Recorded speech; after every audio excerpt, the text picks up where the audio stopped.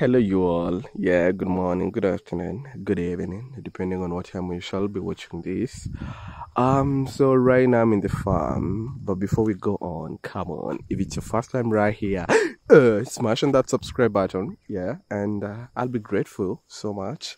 So first of all, let me see where to start. So I'm in upcountry, which is in Mbeere most people have no idea where Mbeere is. Mbeere is in Embu County. Mbeere is a small society of around 200,000 people, yeah. And uh, we are located on the leeward side of Mount Kenya. So that means our place is sort of dry, semi-arid, yeah. And uh, there's so much that comes out from Mbeere. Like Mbeere is one community that gives Embu County as a general so much revenue, yeah won't get so much into that. But the reason is we have a lot. When it comes to producing, we produce miraa on a daily basis. Like millions of money, yeah, is transacted in Mbeere alone. We can, let's not even go to how many millions, but on a daily basis, yeah. We produce some of the best sand ever. So some of the sand used in Nairobi, as far as Mombasa, Kitengela, all that comes from Mbeere, Nanyuki, you know. We're the home to the Seven Forks Dam. If you don't know them, I'll put them up. Just to mention a few, there's Gitaru Dam, there's Masinga, there's Kamburu, you know, all those. We also produce lots of mangoes. If you come to Mbeere, probably everyone in their home have at least five mango trees and different varieties. So these are different mango tree variety than these.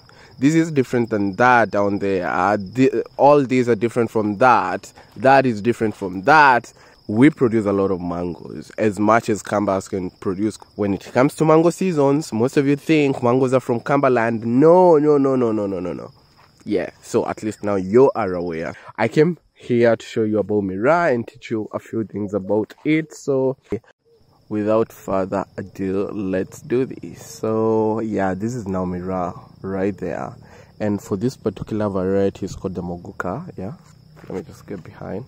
Now that's a Muguka plant. Yeah, they get bigger. For these ones, they had to be trimmed because my mom wanted to, you know, let them start off fresh she wanted to nurture them her own way. When it comes to harvesting, this is what you pluck off. And uh, the good thing about Miraa, if you pluck this off today, come four days later, something will be sprouting. So that means in a week you can harvest twice, depending on how long you love them. There are people who love them this short. There are people who prefer them to grow this maybe this long, you know. It all depends on how you like it. At the moment, they've been sprayed some pesticides because they do deserve a lot of care. Look at that. Look at that. Oof, oof. I'm sure if some of you are here, oh, ho, ho, ho. this would not be lucky. This would not be lucky. Look at this. Look at all that. Oh my God. These are the days I enjoy just to go to the farm, harvest khat for sale. Cause, oh, this would be enjoyable because once you, you become an expert in harvesting khat, you won't be chopping one by one. Yeah? And because remember you're meant to arrange them in the in a basin. So just hold all these you just break it off yeah? Go to the next one break it off. So oh my goodness I, oh my god i'm gonna miss this. I'm gonna miss harvesting khat for sure.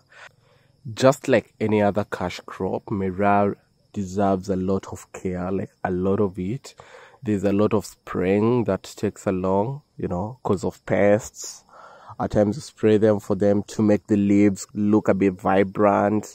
There's so much that needs to be done. It's just like any other cash crop. Just don't think you, you know, you plant it and expect it for it to grow well without care.